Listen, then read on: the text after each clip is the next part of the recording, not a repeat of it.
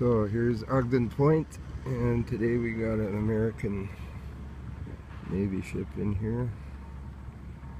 I don't know what that is, but uh, very nice looking. Ogden Point, this is where the DMV, and uh, we get all sorts of interesting visitors to Victoria here.